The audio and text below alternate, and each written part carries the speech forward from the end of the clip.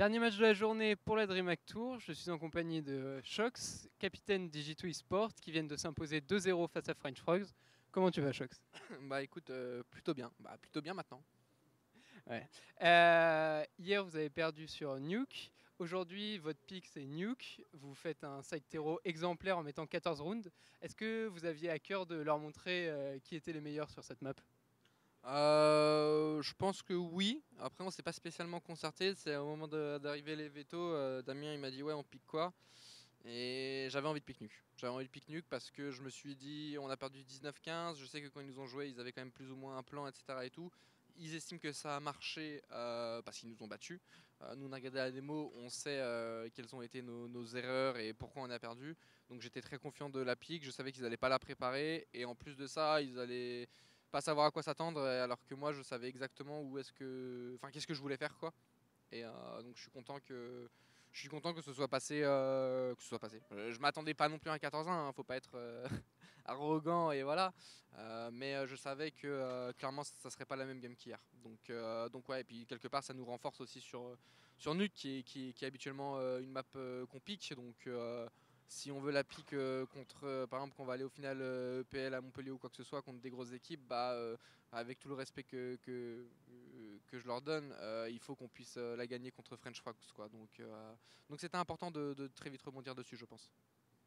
Quel a été le changement d'état d'esprit qui a été opéré pour que la physionomie, la physionomie du match soit aussi différente par rapport à hier? Hmm, la confiance. La confiance, euh, principalement. euh, on travaille euh, beaucoup un petit peu dans tous les sens. Des fois, on, a on peut avoir la tête dans le guidon et pas avoir le recul nécessaire pour, savoir pourquoi est-ce qu'on a mal joué, pourquoi est-ce qu'on a bien joué et tout. Et donc là, on a vraiment on a remis à plat et revenu sur les bases tout simplement bah, la confiance qu'on doit avoir l'un envers l'autre. quoi. Ne serait-ce que quand par exemple la communication elle est mauvaise ou quand les crossfires sont mauvais ou quoi que ce soit ça traduit aussi qu'on n'a pas vraiment confiance en son teammate qui est en train de tenir la ligne ou quoi que ce soit. Quoi.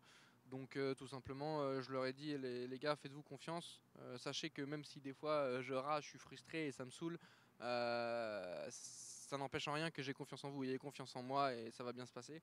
Et voilà, des fois il faut pas beaucoup pour, pour voilà, un petit pas vers l'homme, un grand pas vers l'humanité, j'ai envie de dire. Et voilà, il est content. C'était Goy.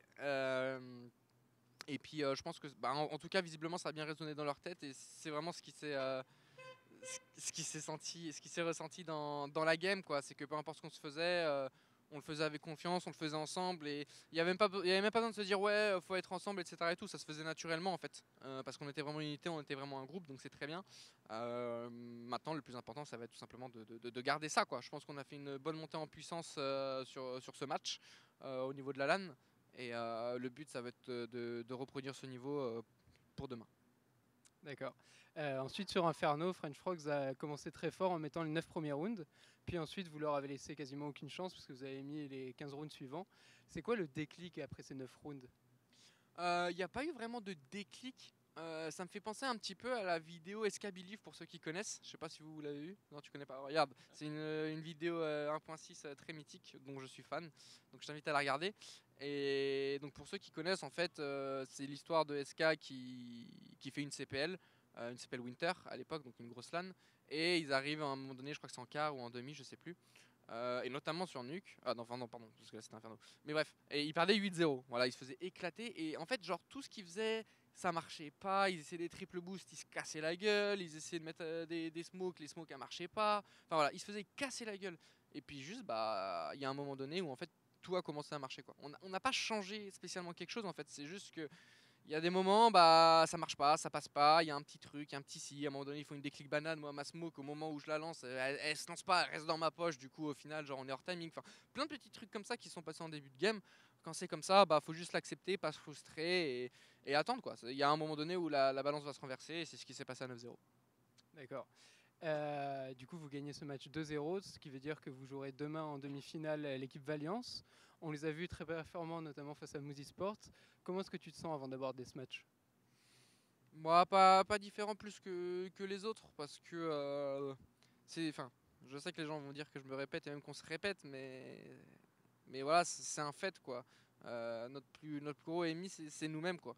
Euh, c'est rare quand même que je trouve qu'on sorte d'un match où je me dis Euh, putain, les mecs, ils ont archi bien joué. On était en dessous, on a fait tout ce qu'il fallait, voilà, mais c'est pas passé. Franchement, genre, ça m'arrive quasiment jamais. souvent, quand on perd, c'est parce que, franchement, genre, bah, on, joue pas à notre plein niveau. Il y a une couille ci, il y a une couille là, et, et, ça se passe pas bien, quoi. Donc, euh, donc tout simplement, avant de regarder Valiance, il euh, bah, faut qu'on se regarde nous. Parce que par exemple, aujourd'hui, même si j'avais un plan sur Nuke, par exemple, Inferno, on n'avait pas spécialement de plan ou quoi que ce soit. Et malgré qu'on soit mal 9-0, à la fin, on gagne la game. Et c'est tout simplement parce qu'on est, resté une unité, on est resté ensemble et à aucun moment donné, on a douté.